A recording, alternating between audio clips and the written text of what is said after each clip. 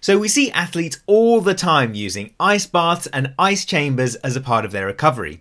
Apart from how on earth can they put themselves through that, the other key question is does it work? So hey, let's find out. Hey guys, Khalid here. Welcome back to Clinical Physio. So imagine a sauna, but filled with ice cold air. Now, for many of us, that sounds like it's unbearable, but for athletes, this is a part of their regular routine recovery. We're talking about ice baths, ice chambers, or what's commonly referred to as whole body cryotherapy. So let's check out some evidence first why do we actually use it in practice? Well, Kwiecien and McHugh highlight that the key aims of whole body cryotherapy is to reduce pain, soreness, and perhaps DOMS, delayed onset muscle soreness, after sporting activity or exercise. And generally, this is linked to reducing the temperature of our body and, of course, our muscles to reduce the inflammatory effect on our muscle tissue. So the suggestion is that whole body cryotherapy can increase the rate of recovery. So this is super important for when rapid recovery is needed for our athlete. Let's say that they've played a match on the Saturday, they've got a week of training to do and they've got to perform really well the next Saturday. Cryotherapy can really come into its own to reduce that pain and muscle soreness to allow them to get the most out of their week.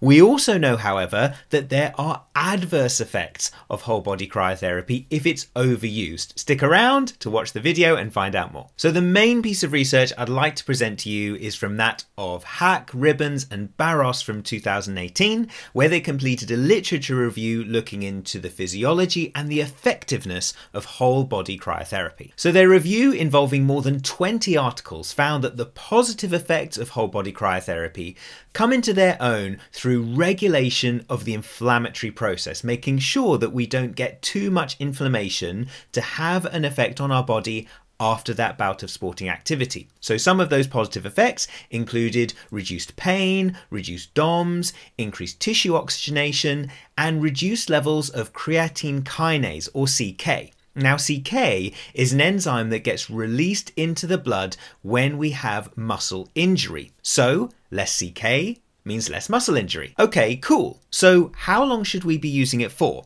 Now, whilst the researchers said that there wasn't an exact precise treatment protocol that they could advise everyone, the suggestion was around two and a half minutes of cryotherapy. This would be split between a room that was, say, minus 110 degrees centigrade and a different room which was minus 140 degrees centigrade, and spending about 30 seconds in each room across that two and a half minute period. So, another study by Selfe et al. from 2014 also looked at two and a half minutes, and they suggested spreading that over 30 seconds in a minus 65 degrees centigrade room, and then two minutes in a minus 135 degrees centigrade room. And I've also seen lots of studies talk about the three minute mark too.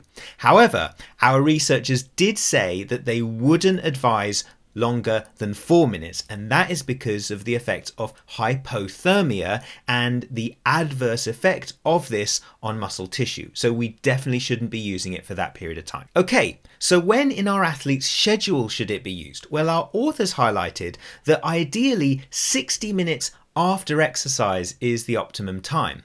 Now, this is quite an interesting one because that probably means not immediately after a match. 60 minutes after the actual sporting event, our athletes are either having a debrief, they're getting changed, or they're having a team talk, or they might be already travelling back home after the event.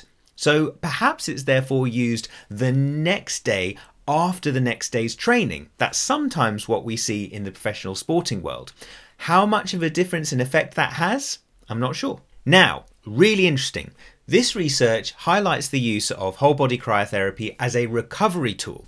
But there's lots of talk about the negative effects that whole body cryotherapy can have in the short term on performance. And that totally makes sense to me.